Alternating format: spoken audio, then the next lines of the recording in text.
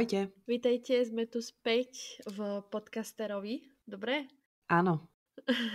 Možno na taký desiatýkrát nebudeme rozmýšľať už nad tým, ako sa náš podcast volá.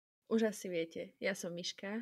A ja som Marina. A je 9 hodín večer a mne sa pokazil notebook, takže sme si povedali, že to natočíme dnes, lebo neviem, kedy sa mi notebook eh, vráti z opravy. Takže je to také narýchlo, neplánované, ale vlastne plánované, lebo sa dnes ideme rozprávať o... Fantastických zverách. Zveroch. Zveroch do keľu zverách.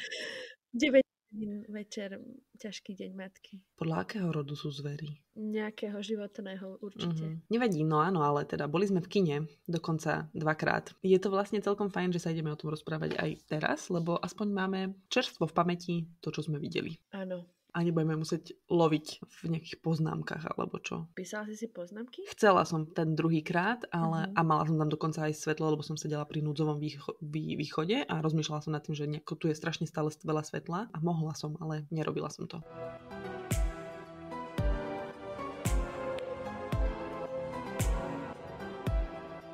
Ahojte. Ešte skôr, než začneme a skôr než vy začnete počúvať tento podcast, máme jedno upozornenie. V tomto podcaste sa budú nachádzať spoilery na filmy Fantastické zvery, na jednotku, na dvojku a na trojku, na ktorej sme boli práve teraz s Myškou v kine. Takže ak máte pláne pozerať tento film, alebo ísť do kina, alebo nechcete vedieť, čo sa tam udeje, určite nepočúvajte tento podcast. A počkajte a vypočujte si ho až potom. No jasné, potom určite, hej.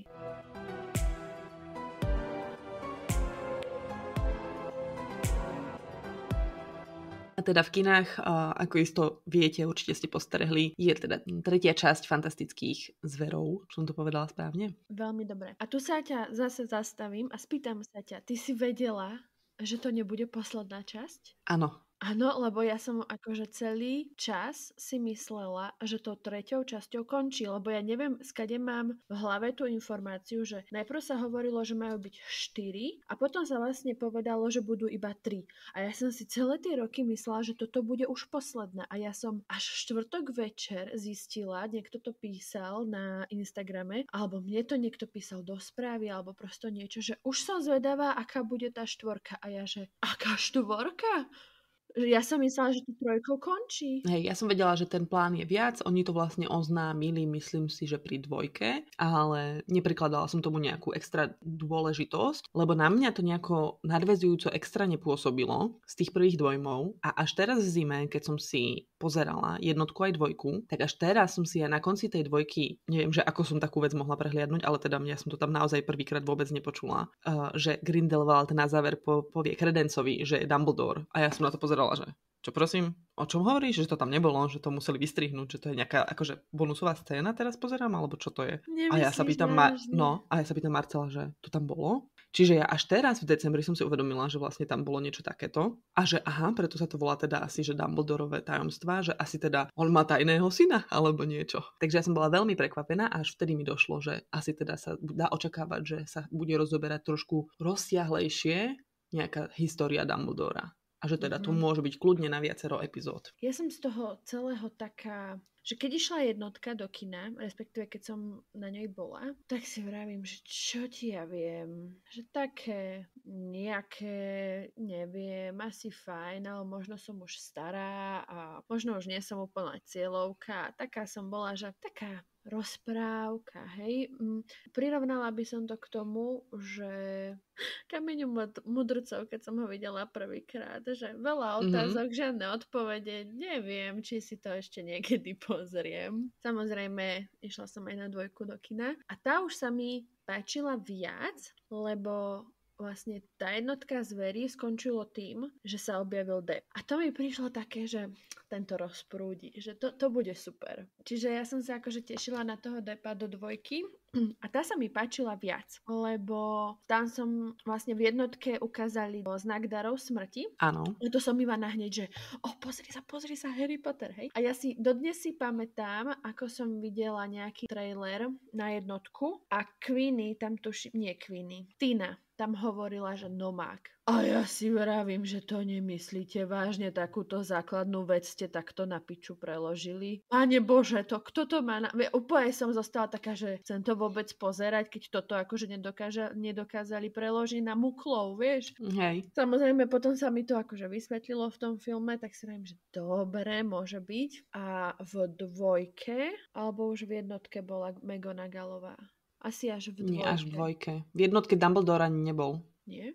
Mm-mm. Takže v dvojke potom prišla Megonagalova a si vravím, že akože v matematike som dosť zlá, ale to mi prosto nesedí. Bola veľmi mladá, že? No, hm, čo mladá, ona sa ešte nenarodila ešte 8 rokov tam chýbalo podľa tých výpočtov internetových, čo som si vygooglila. A vlastne potom ešte ona robila na ministerstve medzi tým, hej, musela vyrásť jedno s druhým, vychodiť školu, čiže to vôbec nesedí. A tak si vravím, že možno to bude jej mama. Lenže zase mudré hlavy na internete píšu, že v konečných titulkách je napísaná ako Minerva McGonagall. A vravím si, že no jej mama sa prosto nejako inak volala, už nepamätám ako, ale nesedí to. No a teraz tej trojke ju tam ešte aj nazvú, že Minerva. Mhm.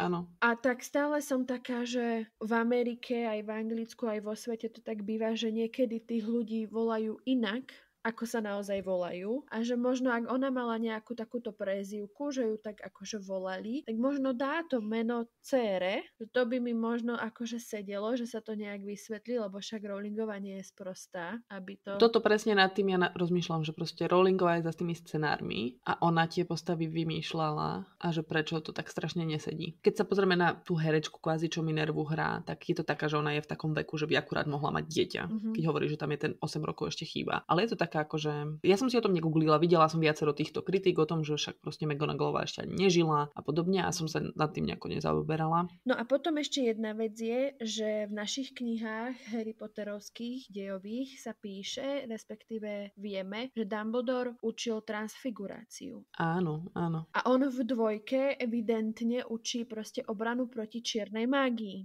Ale zase v trojke práve túto McGonagallovú osloví, či môže zaňho, akože nie je tam povedaný predmet, ale ja som to tak pochopila, že ako keby, že morning classes povedal a teda, že proste transfiguráciu, že by za ňo prevzala ona. Lebo ona by asi proste obranu proti čiernej magie za ňo nezobrala, ako nezaskočila by za ňo. No ja som akože teraz, keď sme boli na tom v kine, tak som rozmýšľala, že vlastne táto učiteľka, nepamätám si ako sa volala, Laila? Lali. Tak ona, o nej tam hovorili, že je najlepšia v obrane proti čiernej magii a že napísala aj nejakú knihu o obranných kúzlach a tak. Tak si vravím, že či to ona potom akože neprevzala, lebo potom tam bola aj taká pasáž, že mu minister zakazuje učiť alebo o, niečo v tomto duchu, že už nikdy nebude učiť o, obranu proti čiernej magii alebo niečo v tomto. Takže či ona akože neprebere tú obranu a on sa neprikloní k tej transfigurácii alebo prosto niečo Možno. v tomto. Čiže to mi akože už tak zmysel dáva aj ten vekový rozdiel Dumbledora, akože čo sa vzhľadu týka, tak vieme, že napríklad ako Matovič zostarol za dva roky, čo bol oný, čo je vo vlade, hej. Takže možno, že ten Dumbledore, keď teraz bude musieť poraziť tú svoju starú lásku a toto, tak možno akože sa to na jeho zjave prejaví nejakým spôsobom. Lebo akože to by som, ja som možno naivný, ale veľký fanošik Rowlingovej. Tým, čo o nej akože si myslím, že je dosť zaťažená na roky, na mená a na tieto detaily, čo nám akože ukázala v knihách predtým, tak si myslím, že by jej takéto proste veci neunikli. Hej, je to, je to také uh, otázky vyvolávajúce, že prečo by urobila takú banalitu chybu, že proste chcela tam dať Minervu silou, silou mocou, proste nedáva to zmysel, proste mohla tam byť hociaká iná postava. Každopádne bolo by zaujímavé, keby to bolo niekde vysvetlené. Ja ju nesledujem napríklad na Twitteri, ale ona sa dosť veľa veciam takto vyjadruje. No a čakala som, že Slughorn tam bude napríklad. No on je taká veková kategória, že kľudne by mohol, no to je no. pravda. Ale aj tak, mne ten Dumbledore ešte ako keby tak neprišiel, že by, že by vekovo treba nesedial. Ja mám pocit, že ten Jude Law si veľa zobral z Dumbledora, z Harryho Pottera. Tak dokonale mám pocit, že ho hral v očiach. Teraz, keď som to druhýkrát videla, ja som tam videla proste starého Dumbledora. V veľa takej tvárovej mimike, takej, takých po, pohľad, možno také pohyby. Ja mám pocit, že si ho veľmi naštudoval a že sa snažil veľmi sa mu čo najviac priblížiť. A preto mne neprišiel, že on mohol pôsobiť, že už bol taký akože mierne prešedivený, že to je proste naozaj taký krôčik k tomu, že zrazu starneš naozaj a už to na tebe vidno, že proste, jak si povedala aj. Neviem, či máš to s čím porovnať, lebo na tých internetoch aj v mojej hlave to bolo porovnávané s obrázkom z jeho spomienky, keď išiel pre Toma Ridla do Sirotinca. A tam mm. neviem, či nebolo 8 rokov rozdiel. Aha, že tak, tak to je taký malý rozdiel. Mm-hmm. Asi si to treba zobrať tak, že tam vtedy asi neuvažovali nad tým vôbec, že budú točiť nejaké fantastické zverie, že nejakého iného herca obsadia. A to je tak poriadku, proste ho len zmladši, ale... tak ho len zmladšili. Zmladšili, Hej. je to vôbec slovo? Omladili. Hej, len uh, vieš, keď už som dala niekde rok a ukázala som, ako vyzerá ten človek, mm-hmm. tak potom by som to mala tomu prispôsobiť, podľa mňa. Ale možno, vravím, sa to ešte vykľuje a máš pravdu, aj pre mňa bol veľmi dôveryhodne záhranný, že s týmto problém nemám.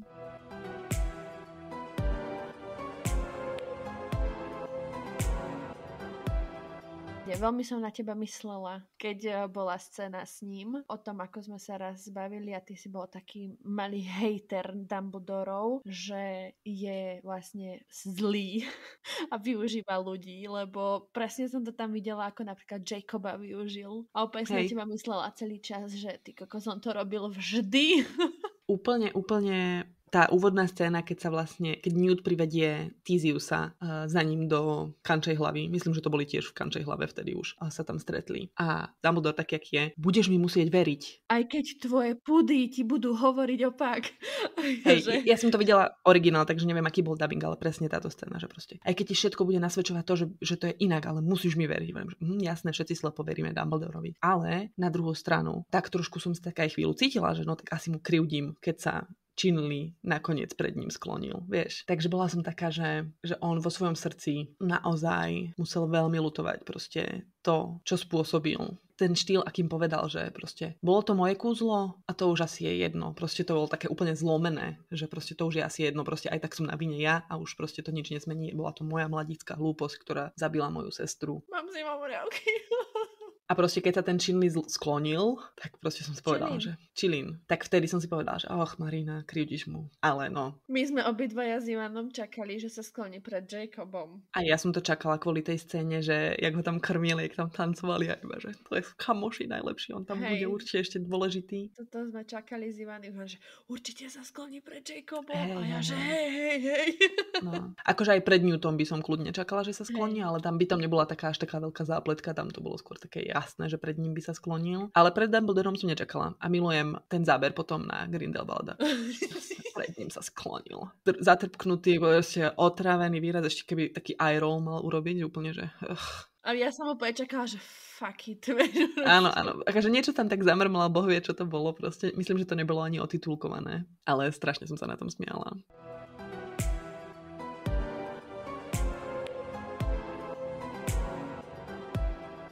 Možno povedzme si o tom prvom dojme, čo z toho filmu mali. Ja som celý film preplakala za tým depom.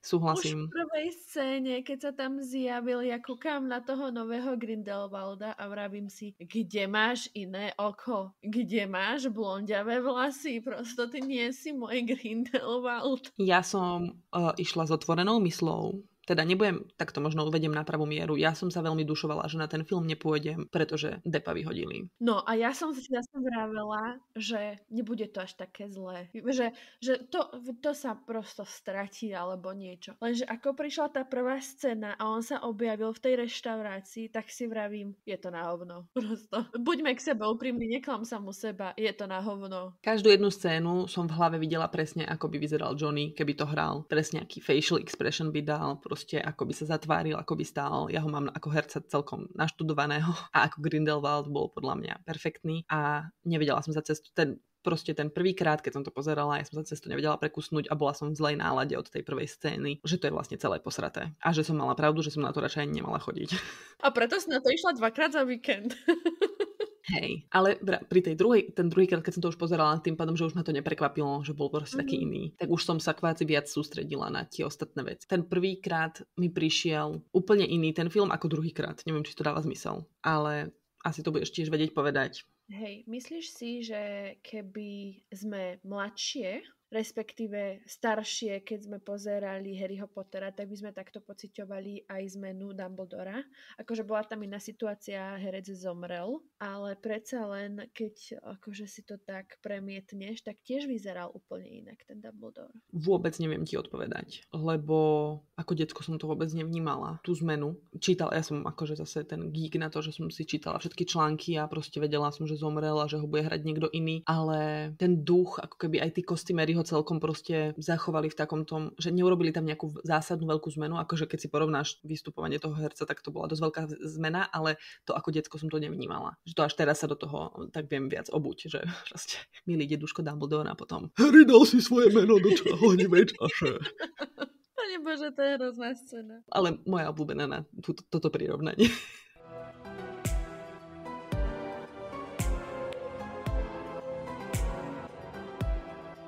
No a to som ti vlastne chcela povedať, že tie dlhé vlasy toho kredensa to mali akože znázorňovať, že prešlo veľa času, alebo čo? To som nepochopila. Uh, rozmýšľala som nad tým, že ako sa z šmukla tak ho tam vykreslili, že je vlastne šmukel, ako keby v, pr- jednotke, nie? Alebo ako... Obskurial. Taký zvláštny, lebo vlastne obskurial, čo ja o ňom viem, je, že nevie ovládať svoju moc a tá moc vybuchuje. Lenže Credence vedel tú svoju moc podľa mňa veľmi dobre ovládať, aj keď akože v násobkoch a bolo to akože extrémne silná moc, ale, ale vedel ju akože dostatočne skrývať pred tou matkou a vybuchovala až keď sa proste fakt, že nasral a chcel, a chcel vybuchnúť ako keby. No, ja som to tak brala, že on je, že ten obskurial, že to je ako keby parazit, že to není, on sa s tým nenarodil. Oprav ma, ak sa mýlim, ale ja som to tak pochopila s tým, že keď Newt rozprával o tom, že vlastne sa snažil takto jedno dievča zachrániť a on tam mal toho obskuriála ako keby u seba. No to je tá magická moc. Napríklad Ariana bola tiež obskuriálka. A ona to som nebola... bola prekvapená. Fakt? Uh-huh. A ty si nečítala sedmičku? Ja som to tam nepochopila, že ona bola obskuriál. OK.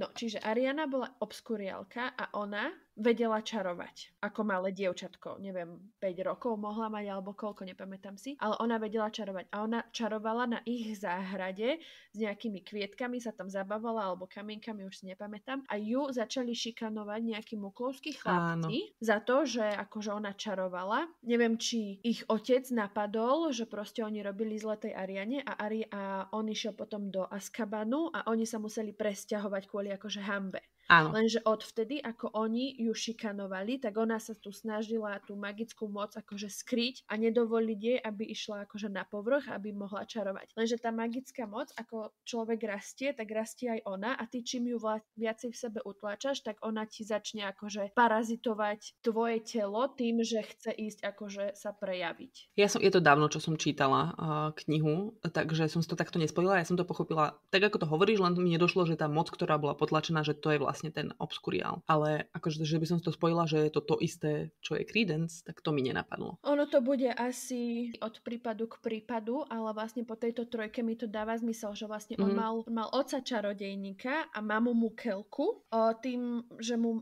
mama počkaj, ako to bolo? Jemu mama nezomrela, oni si ju iba vymenili a jeho potom dali do sirotinca, alebo ako to bolo, nie? Na tej lodi. Áno. Že Leta ich vlastne vymenila. Mama Mukelka si myslela, že jej syn zomrel. Toto je stále niečo, čo ešte nemám v hlave usporiadané, že vlastne čo sa tam stalo na tej lodi, ale musela by som to mať čerstvejšie pozrené, tú dvojku. Lete strašne vadilo, že plače jej brat. Išla tie deti vymeniť a so sebou zobrala Credence, nie? Áno. No toto vlastne nevieme, že čo sa tam stalo, lebo potom ten pracovník ministerstva tú služobničku Škriatkovú zabil a vlastne nevieme sa, nevieme, že či ona ho akože mala odniesť do sirotinca niekam, alebo že prečo sa vlastne odlúčili od lety, že toto vlastne neviem, nebolo vysvetlené. Nebolo vysvetlené, alebo to len mne ušlo, alebo prosto niečo. Ja mám pocit, že nebolo to úplne vysvetlené, že to bolo také, že tie otázniky ako keby mali byť doplnené, ale neboli. Každopádne uh, moje otázniky po tomto filme sú, keď si Aberfot, akože možno vie, že, že ak si dopisoval s tou mukelkou alebo prosto niečo a ona mu buď nepovedala, že majú syna, alebo mu povedala, že sme mali syna, ale zomrel, tak ako Aberford vedel, s kým si dopisuje na skle, ako si dopisovali na skle, ako je to možné, že si oni dvaja práve na tom skle zrkadle dopisovali a vlastne odkedy to Aberford vedel, odkedy to Credence vedel, že vlastne s kým si píše a prečo. Toto sú moje otázniky, na ktoré potrebujem odpoveď a nemám knihu, kde by som sa to proste dočítala a toto ma strašne frustruje. Že vlastne ja už viem, ako to dopadne, hej, lebo vďaka dejovým knihám Harry Potterovským vieme, že Dumbledore porazí Grindelwalda Grindelwald pôjde do väzenia a tam zomrie, lebo ho zabije Voldemort. Toto vieme, ale ja potrebujem vedieť odpovede na tieto otázky, ktoré ja mám.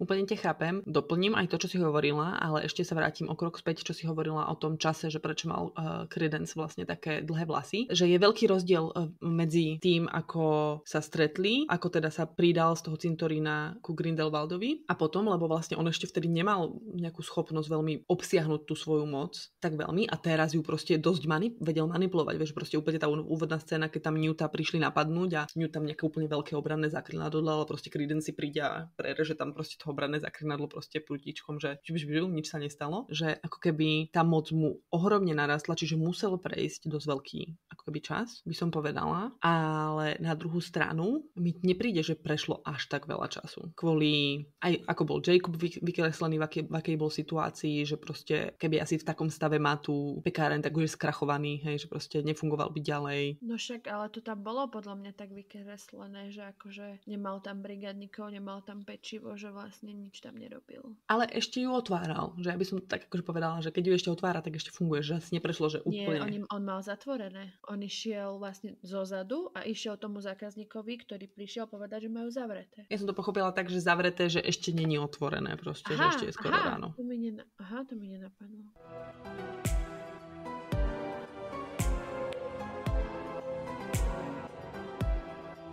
Dočítali sme sa teda na internete, že možno mohli prejsť aj 3 roky od dvojky filmu po tento, a keď sa nad tým tak zamyslím, že vlastne, že dvojku nazvali akože zločiny Grindelwalda, ale on ako keby vtedy iba začínal s tým svojím... To si podľa mňa pletieš, lebo už jednotka začínala tým, že všade boli, bol v novinách, že aké zločiny pácha, že ohľadá celý svet. Áno? No jasné. Dobre, tak to som prehliadla. A že vlastne nikto nevie, kde je Grindelwald a tak začala jednotka, že kde je Aha, Grindelwald. no vlastne, hej, hej, hej. A on vlastne bol vtedy v tej Amerike prezločený za toho Griusa, či ako sa volal. Vtedy vlastne bol v Amerike prezločený, potom ho odhalil Mulok, chytili ho a dvojka vlastne začala tým, že ho prevážajú z Ameriky ano. preč. A on tedy vlastne ušiel, išiel do Paríža a tam už všetkým svojim prívržencom poslal jasný signál, že majú ísť za ním a že pokračujú. Áno, keď si to takto zhrnula, tak to vlastne dáva zmysel. Keď nevieš, tak sa ma opýtaj.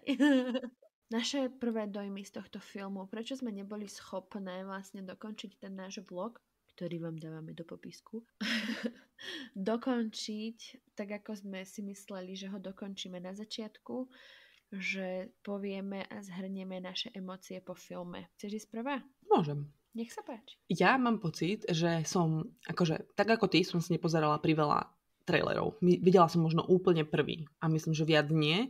A kde je tu nejaký útržok na Instagrame eh, práve v rámci toho proma, ktoré robili herci a to boli také útržky scén, ktoré sa ale viac menej opakovali z toho, eh, z toho traileru, že Jacob dostane prútik, to som ja napríklad vôbec nevidela. A potom som tam videla ešte, neviem, asi dve scény, ktoré si pamätám aj z filmu, inak si vôbec ani trailer poriadne nevybavujem. Ale z toho, ako to opísali ľudia a ľudia, ktorí na to boli napríklad už v Čechách, lebo v Čechách to bolo týždeň skôr, v Čechách to bolo zároveň s anglickou premiérou a vy ste to mali zároveň s americkou premiérou. Tak z tých ľudí, ktorí to už videli počas toho týždňa, kedy som to ja mohla vidieť, ale nešla som, tak som bola strašne taká nadšená, že je to bude plné akcie a neviem čo a proste ak, tak extrémne som mala veľké očakávania od toho, že proste to bude poriadne, tak akože súboje čarodejnícke a bude to vtipné a veselé a proste akčné. A proste som ostala strašne sklamaná, že to také nebolo a že to na mňa tak nepôsobilo. Akože celý dojem vlastne vo mne zakončila posledná scéna, keď proste 5 sekúnd sa Grindelwald s Dumbledorom byli, chytili sa za srdiečko, pustili sa a koniec. Akože ja som naozaj čakala, že vlastne už teraz mu zoberie prútik, že vlastne teraz to bude, že ho porazí a že vlastne tie zvyšné filmy už budú ako keby o ďalšej nejakej timeline, že neviem prečo som to mala takto v hlave za, zafixované, že ta, toto bude, to sa stane. No, to som čakala aj ja do štvrtku, kedy mi vlastne povedali, že to nebude posledný film, lebo ja to mám, respektíve mala som, možno ešte stále mám v hlave zafixované, že celá táto séria skončí tým, ako Grindelwald zostane porazený Dumbledorom a pôjde do väzenia. Že ako bola posledná scéna, že Harry porazil Voldemorta, koniec, tak prosto takto to mám zafixované, až týmto to končí. No a ja zase na druhej strane tým, že ja som videla tiež asi iba jeden trailer, čo som mm, aj zdieľala na Instagrame určite, že sa na to akože veľmi teším a tak. Možno je to aj tým, že ja som zámerne nepozerávala tie scény s tými hercami a že som ani nechcela vedieť, ako tí herci vyzerajú, tak uh, možno preto ma obišla celá tá marketingová vlna, ktorú ty opisuješ, že som mala pocit, že žiadna nie je. Ale napríklad, keď išlo Game of Thrones, tak som sa tomu tiež snažila vyhnúť a nedalo sa. že som predsa len niečo videla. Tak ja som zase odchádzala z kina s pocitom, za prvé, že ten herec Grindelwald nový, chýbal mi tam Depp a na mm-hmm. druhej strane tento nový herec sa mi strašne zlieval s Putinom a Hitlerom dokopy a že aj o, tie veci, čo tam boli vykreslené, tak akože hej, že druhá svetová, že keď to natáčali, tak sa odrážali od toho, ale že teraz žijeme dobu, ako žijeme a že sa mi to celé proste zlievalo a mala som celý taký nepríjemný pocit, že vlastne sa poz pozerám na to, čo sa teraz odohráva a že mi je z toho proste smutno a ťažko a nepačilo sa mi to, že to tam prosto vidím. Druhá vec je, že na mňa tam zase bolo príliš veľa akčných scén. Zase je to tým, že ja som nemala žiadne očakávania od toho filmu, respektíve nemám rada akčné filmy, ale aj keď som sa Ivana pýtala, že či sa mu nezdá, že tam toho bolo veľa, tak mi povedal, že hej, hej akože on nadšený samozrejme, že je tam plno akcie, ale no, vieš, keď sme pozerávali Harryho Pottera, tak tam akože bola možno jedna, dve scény také akčné a potom vlastne to bolo o tých vzťahoch, o tom deji, o tých mm, dialógoch a prosto o tomto. A toto strašne veľa tam toho bolo na mňa, že prišli na nejakú večeru, tam bol oný prútik, tam bol blesk, tam ho napadli, tam utekali, tam sa stalo, išiel zachrániť brata, tam zase utekali, prosto hrozne veľa na mňa. A bola som celá z toho taká, že film fajn, aj som dostala nejaké odpovede, čo sa týka napríklad toho kredensa. Prišli nové otázky, ktoré zase o nich hovno viem, nikde sa ich nedozviem, zase musím čakať. Taká som bola, že čo si mám o tom myslieť? Malo sa mi to páčiť? Páčilo sa mi to? Nepáčilo sa mi to? Som sklamaná? Teším sa na ďalší film? Alebo prosto čo sa vo mne deje? Nevedela som si to utriediť. Taká som bola, že neviem a potrebujem si to pozrieť prosto druhýkrát. Mm, mňa uh, na tom bagovalo ešte aj to, ako keby, že doteraz nemám úplne jasnú predstavu, prečo nejaký Newt Scamander pomáha nejakému Dumbledorovi, že proste, že čo je ich vzťah, ako proste sa, ako keby, vieš, bol to jeho obľúbený žiak, ale... Mám odpoveď. Newt, niečo sa stalo na škole, hovorí sa, že Leta niečo spáchala a Newt to zobral na seba a jeho vyrazili zo školy. Áno, to viem, že jeho vyhodili. A Dumbledore ho proste obhajoval ako Hagrida a s ním majú tiež nejaký zvláštny vzťah a Hagrid mu proste verne slúži. Takže ja si myslím, že tým, že Newt zažil nejakú takúto oporu, lebo jeho nepodporovala rodina v jeho záľubách, hej? Ano. Že je zvláštne, že napríklad ich mama chovala hypogryfy, ale to, že Newt chce byť e,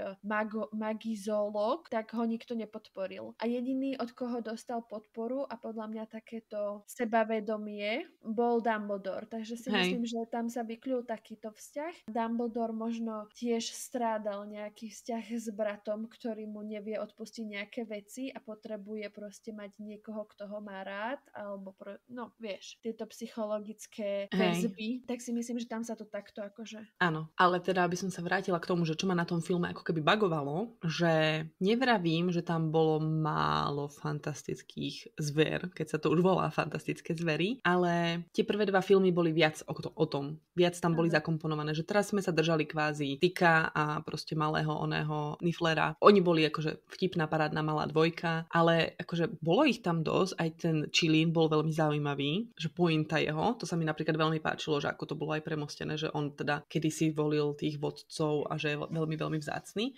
ale ako keby som tak, že po tých prvých dvoch som odchádzala s tým, že mm, toto je zaujímavý zver a ako keby som si ho pamätala. A teraz ma veľmi zaujíma, čo bolo začtá uh, kačka, ktorá sa nafúkla na balón a potom zrazu letela. Tá bola perfektná inak. Ale akože jediný moment z fantastických zvier, ktorý mi tam utkvel v pamäti je proste Newtov tanec v, v, vo vezení s týmito nejakými rabo, škorpióno, uh, neviem čím. A veľmi dlho som rozmýšľala nad tým, či tá príšera v tej veľkej jame, či je to nejaký prerastený triskochvostý škrot alebo čo, lebo veľmi sa mi to na to podobalo. Ale bolo to mega väčšie. Možno zistili, čo jedáva a nakrmili ho a vyrastol až do týchto rozmerov. Ale uh, budem Diablo advokát. Vlastne jednotka sa volá Fantastické zvery a ich výskyt. A videli sme kufriku plné zvery, hľadali sme ich po New Yorku a bolo to o zveroch viac menej. Bolo to také rozprávkové a potom vlastne sme sa prehúpli k Fantastické zvery a Grindelwaldové zločiny a už sme proste išli do takého toho deja o tom, že stále je tam mlok, stále mu tam pomáhajú tie zvery, stále ich tam vidíme, ale už je to viacej o tom Grindelwaldovi. Hej. A teraz to bolo viacej o tom Dumbledorovi, že vlastne aj Harry Potter a Fenixov rád nebol stále iba o tom Harry Potterovi a jeho detstve ťažkom a zase taká tá rozprávočka o ňom, ale už to bolo proste o tých iných veciach a Harry tam hrá tú hlavnú úlohu. A teda fantastické zvery akože Mlok Scamander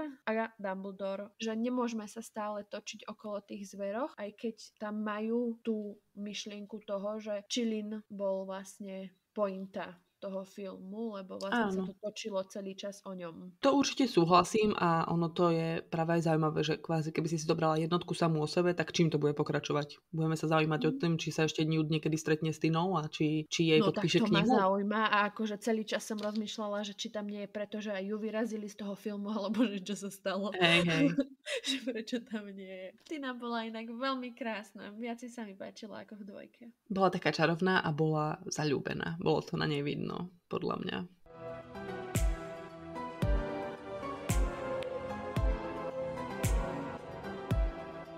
To ma inak veľmi prekvapilo, zaskočilo, potešilo niečo z tohto si vyber, že Bounty získala takú dôležitú úlohu. Ja som chvíľku bola taká zaskočená, že je to tá istá herečka, nie je to tá istá herečka, že proste, že, oh, že ona, ona tam ešte bude. Že neprišla mi taká podstatná v tej dvojke vôbec. Áno, a bola perfektná podľa mňa. Bola, bola mhm. perfektná. Mm-hmm. A bolo to také magické, že vlastne mala takú dôležitú úlohu. Mm-hmm. Aj ten záver, ako povedala, že proste... Nikto nemôže vedieť všetko. Bože, jak bola tá scéna. Neviem, čo povedal Newt a ona potom povedala, alebo vlastne vlastne aj, aj vie, že vlastne on ako keby smerovala na neho, že vie, že nikdy, nikdy asi nebude mať jeho pozornosť a náklonnosť. On povedal niečo v tom zmysle, že zistíme, čo je pre nás dôležité, až keď to stratíme. A ona mm-hmm. povedala niečo na tom, že ale niekedy to prosto vieme. Áno, presne, presne. A ja som akože myslela, alebo možno čakám, do budúcna, že sa nejako rozvinie vzťah Bauty a, a, Berford. a Berford. To bolo také v náznakoch. Ale čo mi teraz napadlo je, že Kama sa volal. Áno. Mne to tam prišlo zbytočné. Celá tá jeho postava, od toho, ako prišiel vlastne. Vo vlaku to bolo mega zaujímavé a ano. trvalo mi asi 10 sekúnd, kým som pochopila, kto to je a prečo tam je. Bol to iný herec? Myslím, že bol ten istý, len starší. Mne to prišlo, že som netušila, že to je on kým nepovedali, že moja sestra. Ja som to akože pochopila ešte v tom vlaku, ale potom vlastne ako prišiel ku Grindelwaldovi, ako na konci sa zase objavil, že celé mi to prišlo úplne zbytočné. Ja vlastne neviem, čo bola jeho úloha. No veď ani ja, veď preto vravím, že mi to prišlo úplne zbytočné. Že buď niečo zlé vystrihli, a ako keby sme to teda nemali šancu pochopiť, alebo pointa sa skrýva niekde akože mimo tento priestor a pochopenie naše. Možno to príde v inom filme, ale teda neviem, celé mi to prišlo také, že aby nám ukázali, že Queenie drží celý film s tou druhou stranou, alebo, hey, hey. ale vieš, to, mne to došlo už akože pri tom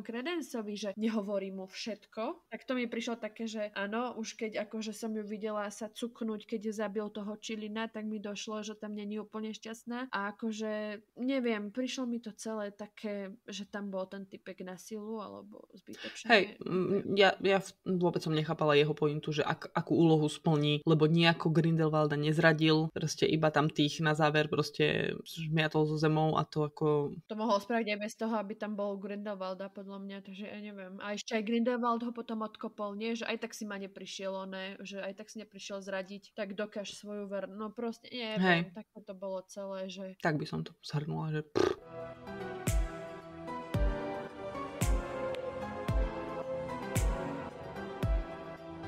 No a teda Mám ďalšie otázky. Napríklad, ako Credence a ostatní Grindelwaldoví posličkovia vedeli, kde hľadať Čilina? Veľmi dobrá otázka.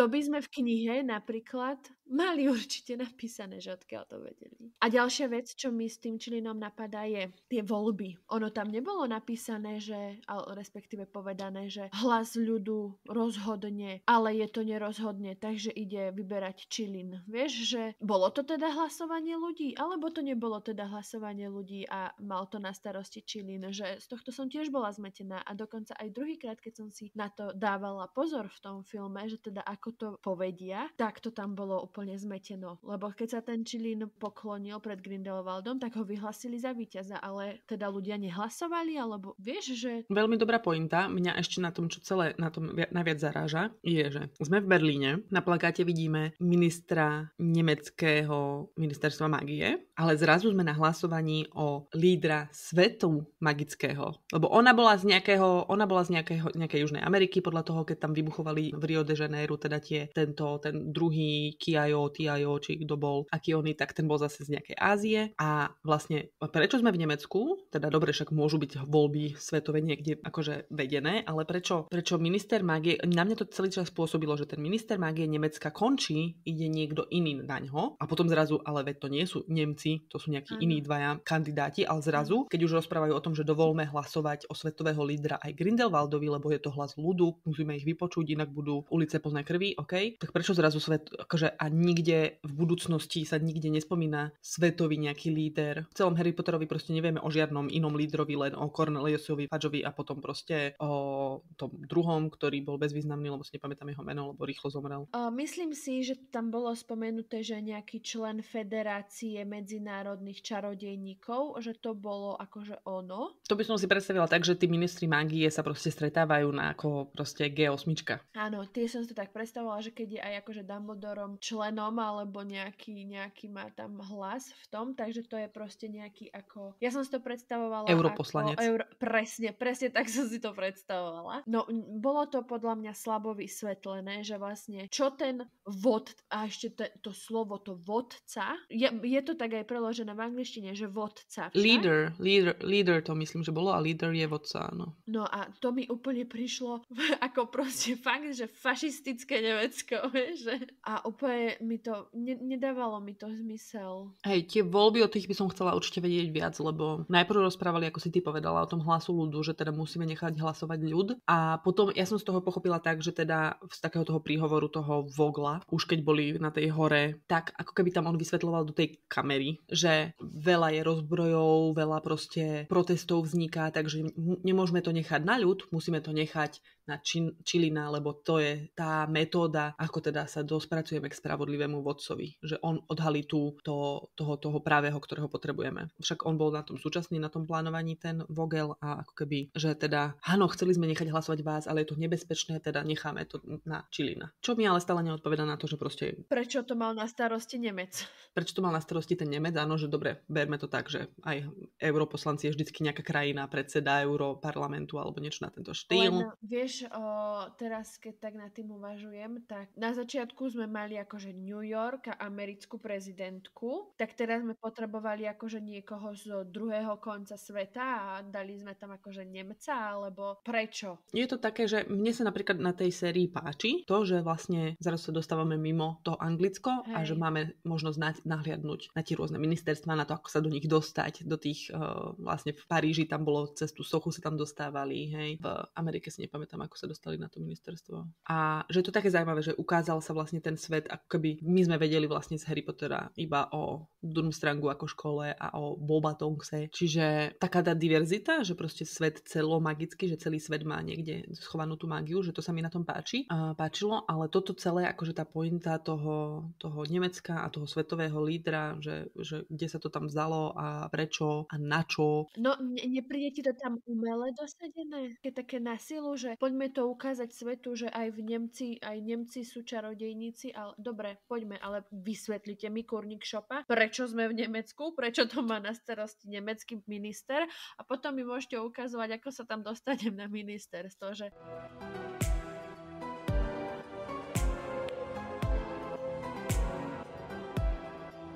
sa vlastne dostávame k tomu, prečo som ja nemala rada na začiatku Harryho Pottera, lebo som mala veľa otázok, žiadne odpovede a teraz ja by som si aj prečítala tú knihu, lenže žiadna nepríde, príde iba taký trapný scenár, prosto, ktorý mi je na dve veci, lebo vlastne sa tam nič nové nedozviem. Toto, toto si dobre vystihla, že vlastne teraz sa viem vcítiť do tých tvojich pocitov z tvojho detstva, že prečo si to nemala rada, hej, lebo nemôžeš si dohľadať tie informácie alebo nemôžeš tomu pochopiť. V tom je čaro filmových adaptácií, že vlastne ty si to ideš pozrieť a máš možnosť čím to porovnať a pochopíš tomu. A toto je presne zážitok človeka, ktorý nikdy nečítal knihu a ide si pozrieť film a nemá šajnu. Polovice veci a zhodnotí ten film ako zlý, lebo mu nechápe. A to sa s väčšinou filmových adaptácií deje. Napísala som o tom diplomovku, tak viem.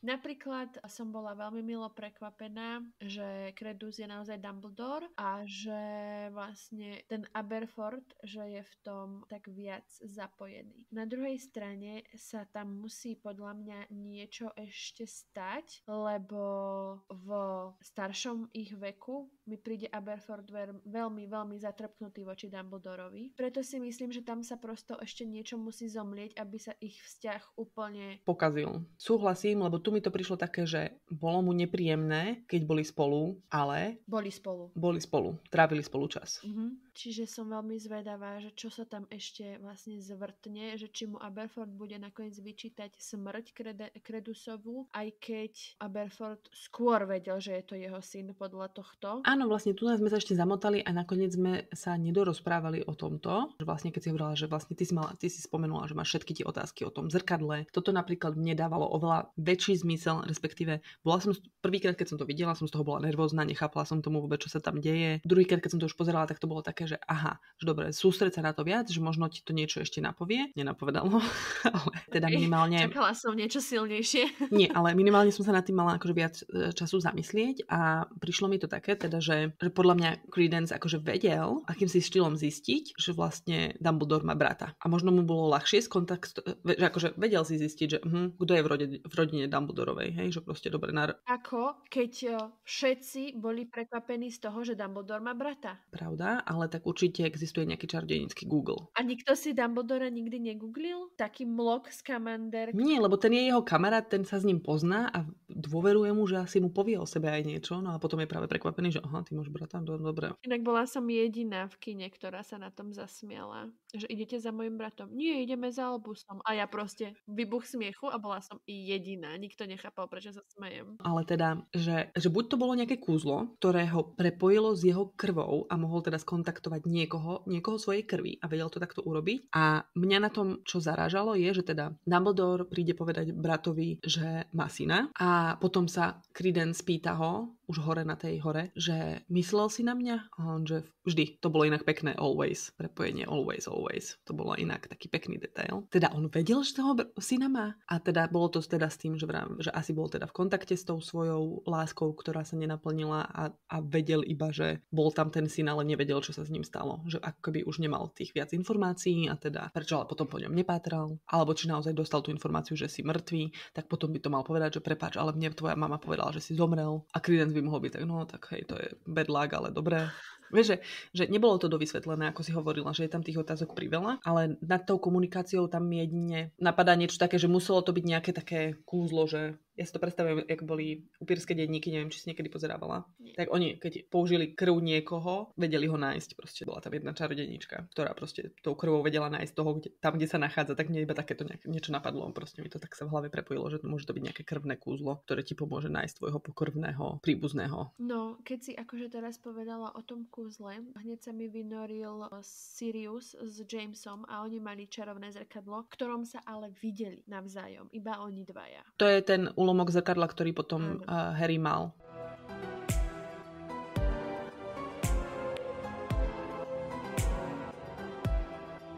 Tak ako by si to teda zhodnotila, keď sa na to pozrieš teda po tom druhom raze, keď si to ten druhýkrát pozrela? Uh, že zaujímavé. Veľa otázok, malo odpovedí. Chcem vedieť viac.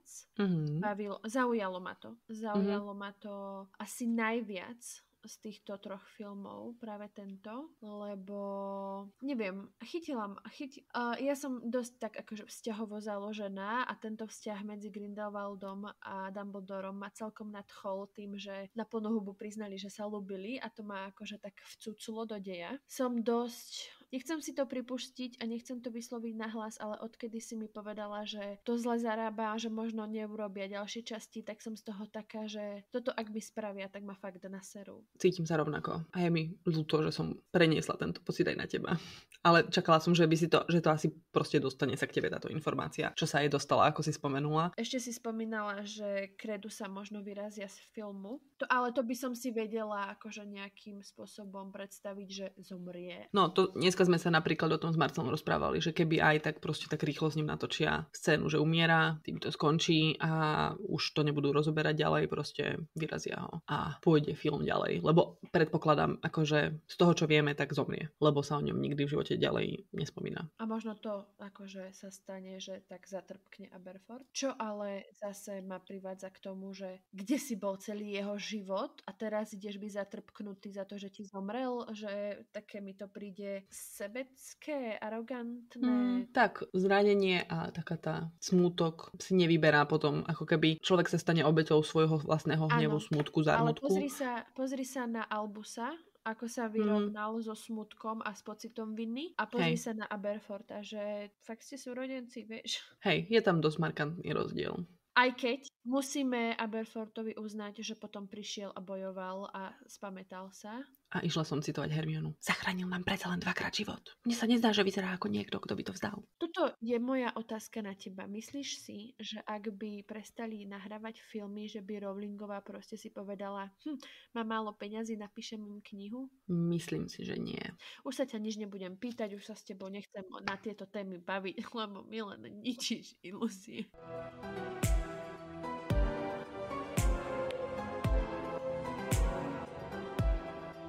Ak ste sa dostali až sem, dajte nám vedieť vaše názory a ak máte nejaké otázky navyše, ktorým sme sa napríklad nepovenovali, alebo nejaké teórie, ktoré by ste nám radi povedali, tak by sme si mohli dať liveku na túto tému na našom Instagrame. To by bolo fajn. Takže po dvoch hodinách rozvíjania našich teórií a našich názorov a nezodpovedaných otázok sa s vami lučíme. Som veľmi rada, že vlastne celý tento podcast Marinka vznikol, lebo otvorila si mi na moje depresívne večery v tomto tehotenstve nové okienko nádeje. Že vlastne dve hodiny som nemusela rozmýšľať nad uh, hlúpostiami, ale nad fantastickými zverami a Dumbledorovými tajomstvami.